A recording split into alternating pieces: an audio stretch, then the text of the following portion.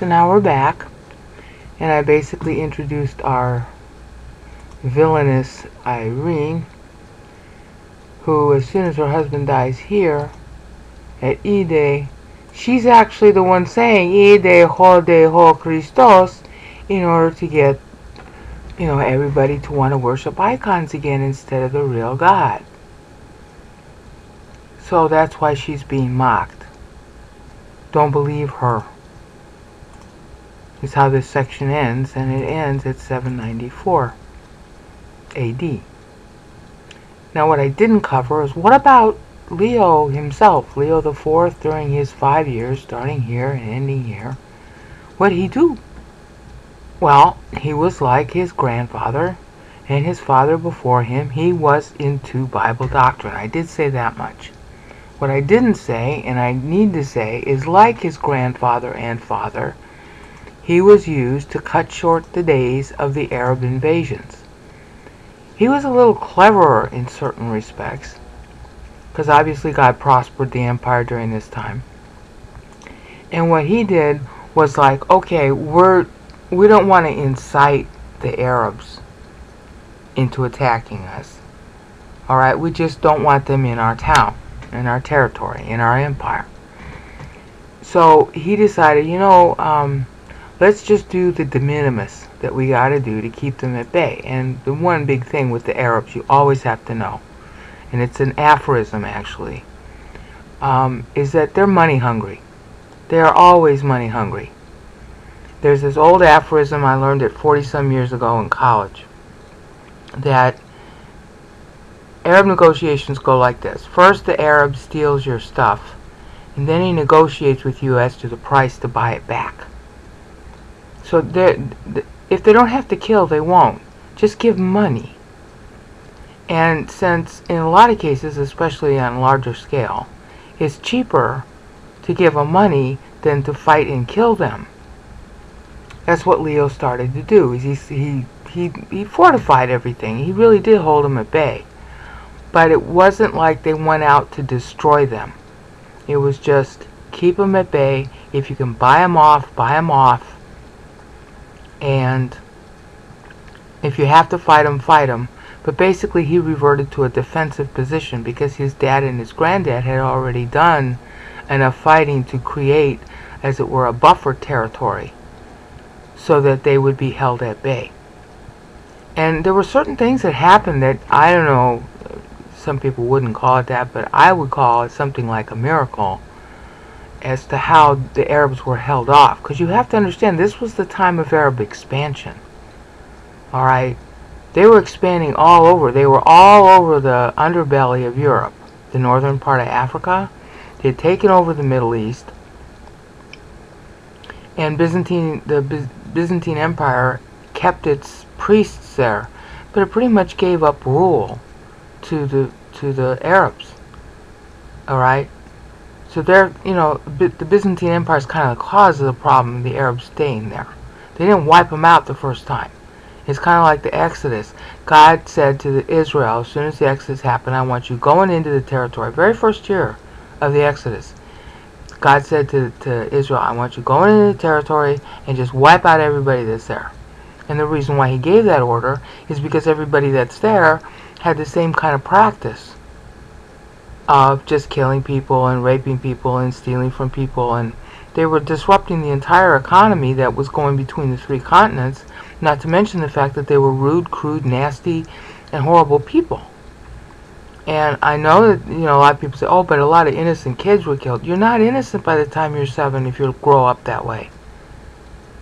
I, I mean just go look at the videos on YouTube about kids teaching about Arabs teaching their two-year-old kids to stab Jews Alright, stab, stab, stab. Search on that. In YouTube. And they, they post, the fathers, the mothers post live videos of them strapping bombs on their kids, of teaching their kids to stab. When you're two, three, four, five, six, seven years old, you don't know any better, that's true. But what you do know, you don't know how bad it is what you know. You got the Hamas Bunny. Go look at that on YouTube.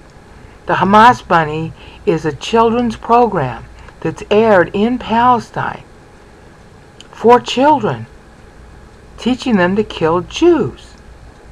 And then you have the, the interview that uh, Diane Sawyer had with a couple of Palestinian kids. I remember, I don't remember the name of the program, but I want to say it was back in 2005 or so, where she's interviewing them about what they learned in school today, and they proudly told her they learned to make a bomb. See, when you're five, six, seven years old, you're the product of what your parents teach you. And that's all you know, so that's what you do. Alright? So if your parents have taught you to kill, and you're seven years old, you think, oh, I must kill. So no, they're not innocent. I mean, they're innocent in the sense that they don't really understand how bad what they want to do is. They don't have any moral values. They've been taught a wrong set of values. So when you're seven, you're going to just, you can't just adopt a seven-year-old kid who's been raised that way. He'll think the first thing he's supposed to do is set your apartment on fire. Alright? So God in his mercy and wisdom knows this. And he's going to have, you know, truth be free or it's not truth. He knows they're going to grow up this way. So if he ordered the Israelites in the Exodus to go and just kill everybody, alright, Sometimes he made exceptions, but usually not. They're going to go to heaven right away because they're too young to know right and wrong. And that's, you know, you see that from David when David's firstborn dies. He says, I'll go to him, but he won't go to me. You can search on that verse. Search on those words. Find the verse. It's somewhere in Samuel. I'll go to him, but he won't go to me. Alright?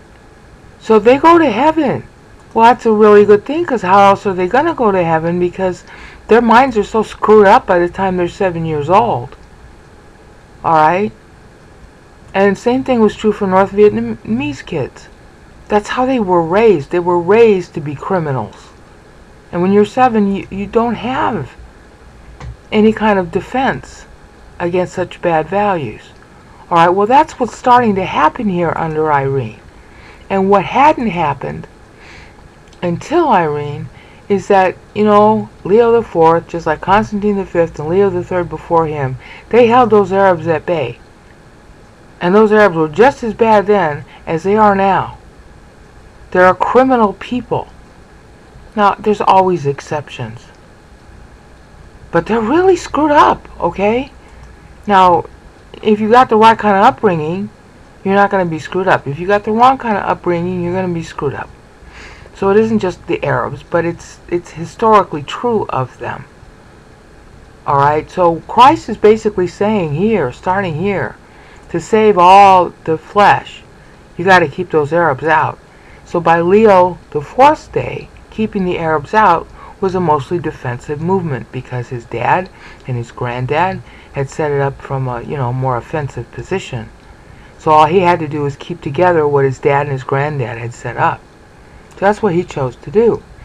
So that's his, like, meaning. So now look at the cuteness of this. E-Day. Look. Yeah. That's when our boy Leo the Fourth dies. And who's he looking at? God. Everybody else is looking at him being dead. And Irene takes advantage of that because she wants everybody to look at her. So she's saying, oh, the Christ, over the next seven years for icons. And she actually disparages her husband Alright, she either instigated the lie or she took advantage of it, one of the two, take your choice. That, oh, he wanted those, wanted to wear the crown jewels at Hagia Sophia. Why anybody would buy that lie, I don't know. But if you're negative to God, you'll buy anything. Look at what happened with electing Trump. You cannot be a Christian and using 1 John 1 9 and vote for Trump. Can't. So apostates elected him. And this is the same kind of apostasy happening back here when in 780 when Leo dies. The same kind of apostasy there as is happening right now in the United States. And you'll notice that the distance is the same. Okay, look, 57. Alright, we got 7, 8, 0, minus 57.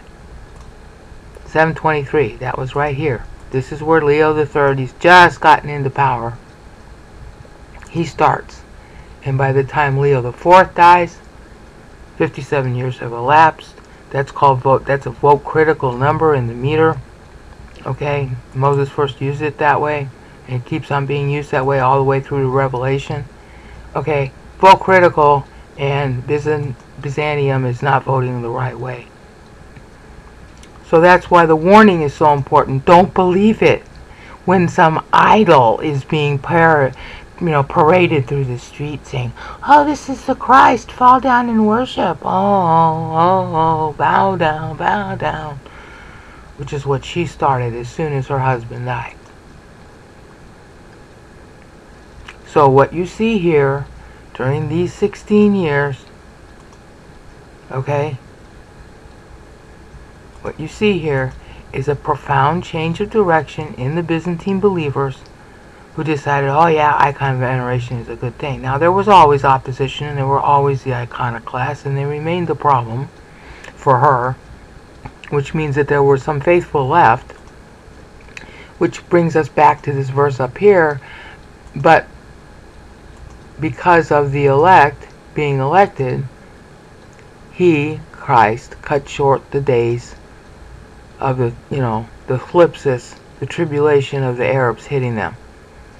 And he used the rulers to do that. And then, of course, they get their prosperity during that time.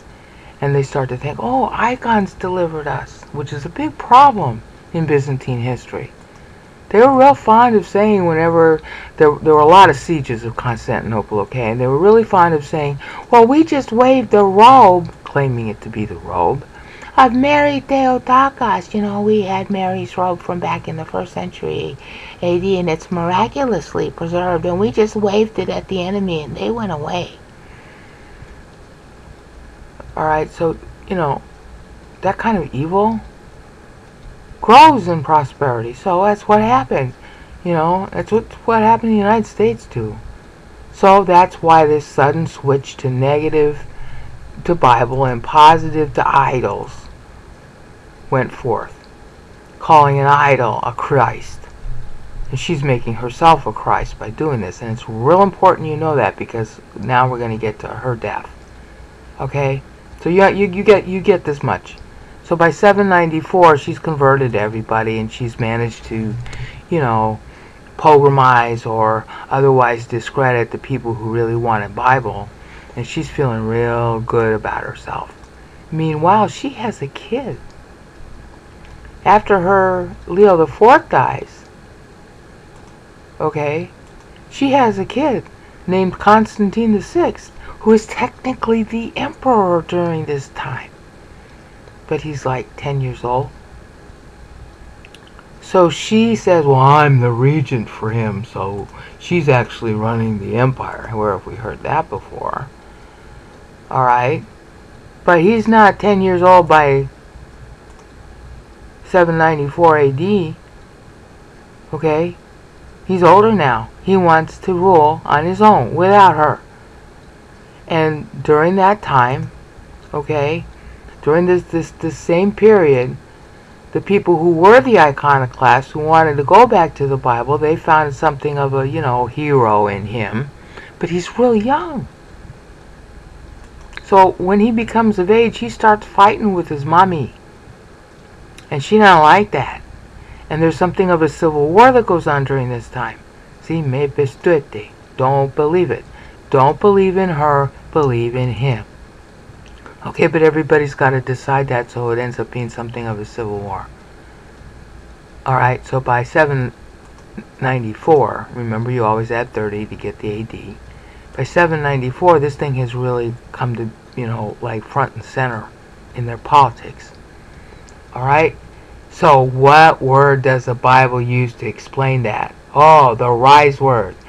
E, ge, de, son, tai. Tight. You always sort of swallow the I at the end of the ah. I. I. A. You know, I. So, e, go, de, son, tai. When you say they, you don't say it. The scholars differ over this, but I maintain what the classical scholars say. It's not. You don't have a lot of breath there. say. No, it's de. De. There's no breath. You just put your tongue at the back of your front teeth and you say de. You try. It's it's like a th, but there's no breath. Ta, de, de sontai. All right. So you're you're making the t sound with only with the your your tongue at the behind your front teeth. Ta. All right, but no breath. No. You're not breathing through your teeth. You're not pushing the air through your teeth. Ta. Okay, so air e, ger, te, son, tai. Now, that means to rise. Iro. Take iro. Okay? E, ge, de, son, tai. Five syllables. So, 794, that covers the next five years. Alright, so 794, that means the next five is 795, 96, 97, 98, 99, 799. Okay, well, our boy Constantine the Sixth doesn't live that long. He's he goes. So this is 64. So this is 65. So we say 95. 95. 96. 97. He dies right at the day sound. Now that's kind of cute. Okay, because there are several words that come to mind to a Greek person when they just see those two letters, te and they, the writers of the original scriptures that we have, they use this as an abbreviation. It's Theos for God, Thelema for will. Alright, God's will. It was God's will that Constantine VI died right there. He was fighting his mother his whole life. He dies young. And it's kind of suspicious the way he dies because she wants to be in power, so it doesn't matter, even if she sacrifices her own son. Now, he had his own, as it were, fans, his own loyal people behind him, but it was back and forth who was loyal to him, who agreed with him, and it, it, the reason why they went to him is because he was the actual legal emperor, and she was in effect usurping his power in the name of him being too young